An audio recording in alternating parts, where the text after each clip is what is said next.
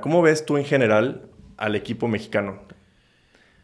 O sea, porque ha sido muy criticado y lo sabemos. Sí, sí yo mismo lo, he criticado mucho. Yo, a ver, cuando empezó el proceso del Tata a mí me encantaba. El equipo jugaba bien, tenía una idea, ganaba, competía bien. ¿Te acuerdas? Fueron a Europa y le ganaron a Holanda, ganó la Copa Oro caminando, con el de Jonathan Dos Santos. Eh, jugaba muy bien ese equipo. Después viene la pandemia, viene el, golpe sobre Raúl Jiménez y, se empieza a desmoronar. O sea, los europeos empiezan a regresar. Eh, Héctor Moreno se regresa también. Ahora Héctor Herrera que regresa. Raúl que ya deja de jugar. Tecatito que se lesiona. Chucky que ya no, empieza, ya no empieza a tener buen ritmo. Laine se fue, pero nunca jugó.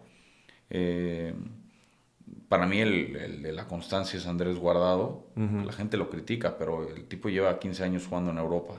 O sea, creo que tiene un mérito impresionante. Sí, que te va a servir más de lo que no. Eh, Edson Álvarez se va y él sí lo empieza a hacer muy bien. Pero el equipo se va desmoronando. O sea, el equipo a principios del año pasado, del 2021, se empieza a desmoronar, empieza a perder partidos, pierde la National League, pierde la Copa Oro. Eh, los Juegos Olímpicos son como un, un subidón un poquito, pero el equipo del Tata Martino en eliminatoria muy mal, muy mal. No le ganamos a Estados Unidos, no le ganamos a Canadá, sufrimos para ganar de local, el Azteca ya no pesa, está horrible.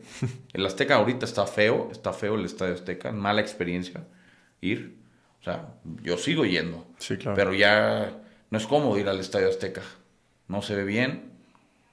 Eh, ojalá que lo dejen muy padre, creo que lo van a dejar muy bien. Y entonces vuelve esa ilusión que, es, pues, parte del, parte del, mexicano, ¿no? O sea, pues, ¿por qué no?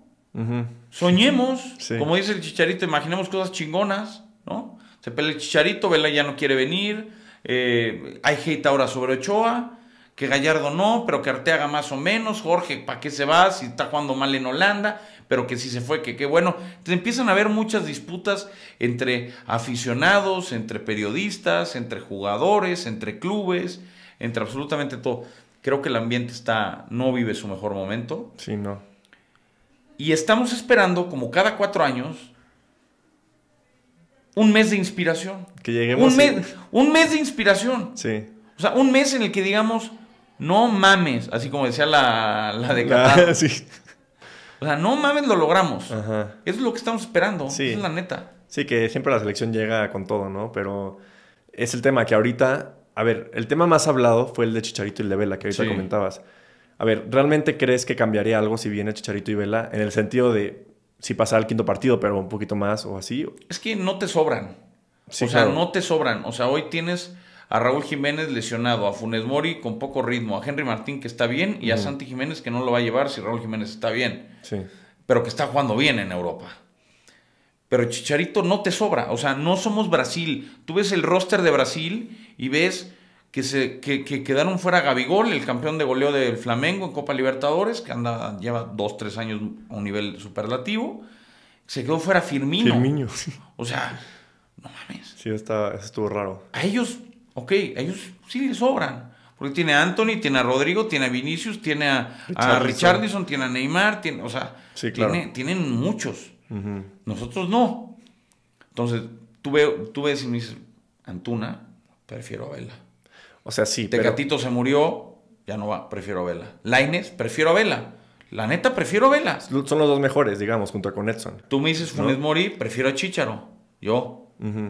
Eh, pues Raúl Jiménez, bien, o sea, físicamente al 100, prefiero a Raúl Jiménez que a Chicharo. Henry vive un gran momento. Santi Jiménez también vive un gran momento. ¿A quién pondrías tú de los delanteros? Eh, si está al 100%, a Raúl. O sea, si se. A ver, si ya no está con molestia ni nada, sí pones antes a Raúl que a Santi Jiménez y que a. Sí. Que a Henry. Sí, sí, sí. Yo.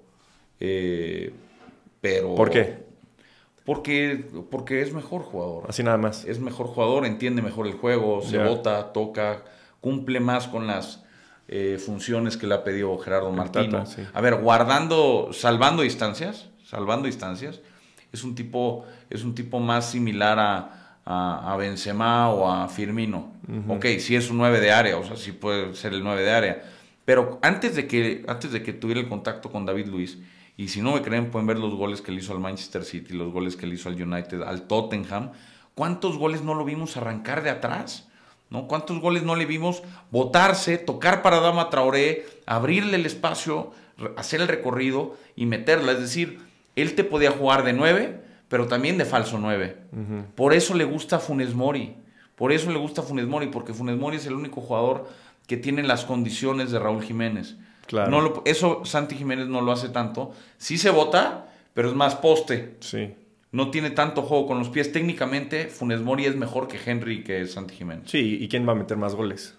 ¿Funes Mori o Santi Jiménez? El tema es que nadie mete goles en la selección mexicana. no le generan oportunidades al 9. Sí, también. A nadie, ¿eh? A nadie. Así se llame, así traigamos a, a, Lewandowski, lo naturalicemos y lo metamos, no le generamos opciones. El problema no es el 9, el problema son los, los otros. Entonces, ¿tú a quién dejarías fuera de esa lista? Imaginando que Raúl Jiménez sí llega. Ya dieron fuera a Tecatito, pero yo dejaría fuera de, o sea, de los otros cuatro puestos, dejaría fuera a Funes Mori. Dejaría fuera a Romo Dejaría fuera Piojo Alvarado y Angulo. ¿Y qué opinaste de tipo de, este Acevedo que no, que no llamaron? Porque luego también Me pareció completamente injusto, completamente injusto. ¿En lugar de Cota? O, de Talavera, incluso hasta de Talavera. Ese, ese, ese show de no, es que los llevamos por experiencia. Experiencia ya vale madre, o sea, ¿qué más experiencia quieres? Tienes a, tienes o sea, de los tres porteros, dos, por lo menos dos van a tener mucha experiencia. Tienes a Moreno, tienes a Herrera, tienes a Guardado, tienes a Jiménez, tienes muchos jugadores de experiencia, ya mundialistas la mayoría, o sea, ya, ya, ya. es una aberración. Eso a mí Acevedo se me hace el futuro de la selección mexicana. No, y venía en buen momento, ¿no? Muy bueno. O sea, no iba a jugar, ya sabemos. Pero es un tema de meritocracia. No hubo meritocracia con Talavera, la neta. Talavera no debía ir, Cota tampoco debía ir. Antes debía ir Acevedo.